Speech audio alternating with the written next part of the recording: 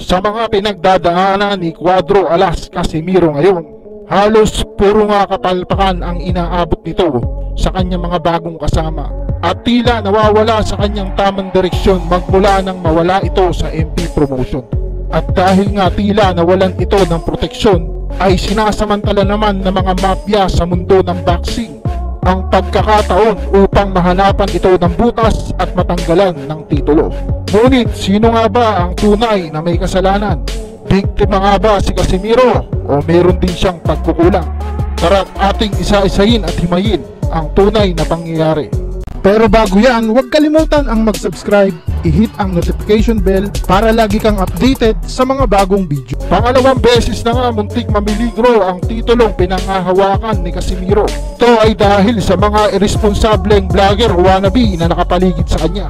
Dahil nga dito ay napapost sa social media ang kanyang makakatunggali na si Paul Butler. Dahil sa pangalawang beses na nga na nagawa ng kampo ni Casimiro.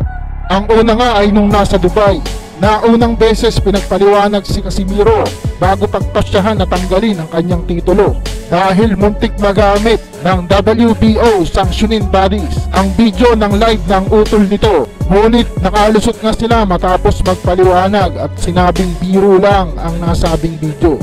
Nasabi rin ng WBO na legit ang certificate na ipinakita ng kampo ni Casimiro. Ngunit sa pangalawang pagkakataon naman, isang kababayan naman natin na kasamahan nila Casimiro sa UK ang nagpakita ng video na nasa sauna si Casimiro at binanggit niya sa kanyang video na nasa sauna pa ang kampiyon na si Casimiro. Tatanungin si Tata Idol. Ah, nandun po sa kwarto nila, kakatapos niya lang mag ano, mag sauna, tapos konting ano ngayon. Bagay na naging basihan at ebidensya ng BBC or British Boxing Board of Control para matanggalan si Casimiro ng karapatan na lumaban sa kanilang bansa. Ilingid sa iba na mas maraming batas o ipinagbabawal ang mga Briton na regulasyon sa boxing. Bagay na dapat alam ng kampo ni Casimiro.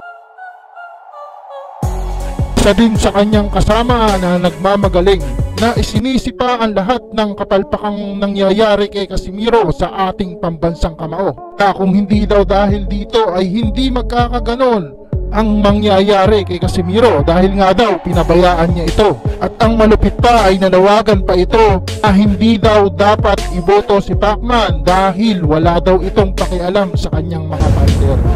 So ngayon guys, boto niyo pa ba yung ano?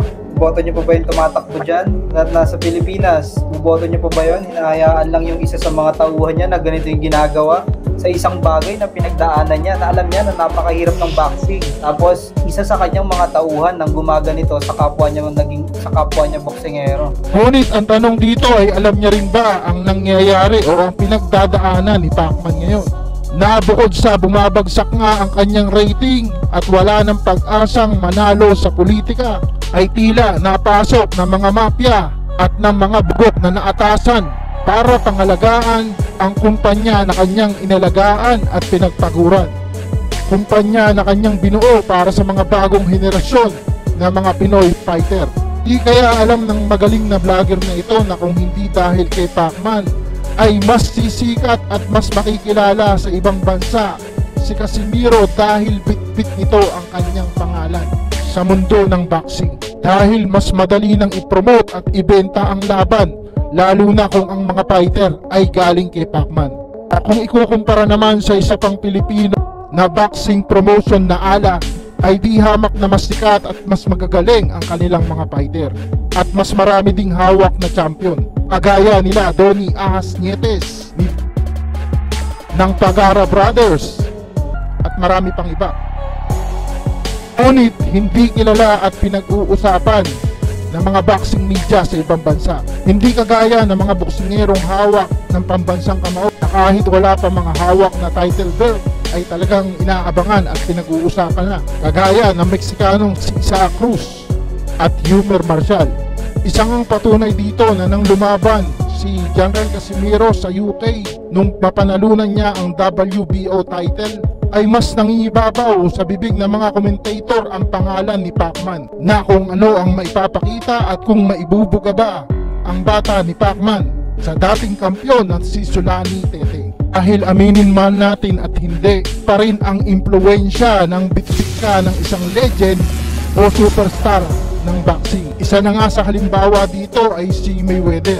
Na kapag siya ang nag-promote ng tao, ay sigurado naman talagang aabangan at pag-uusapan ng boxing media.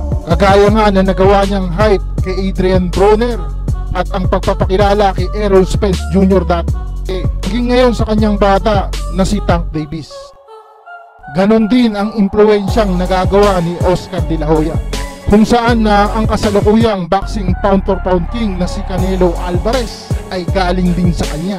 At ang ngayong ngay maingay sa mundo ng boxing na kahit wala pang titulo na si Ryan Garcia ay tila mas sikat pa sa kasalukuyang kampyon ay nakilala dahil nga sa impluensya ni De La Hoya. Kaya nga kung tatanungin kung may nagawa ba si Pacman sa karir ni Janrael Casimiro ay kayo na rin po ang makapagsasabi kung si Pacman ba ay masamang impluensya na kagaya nila.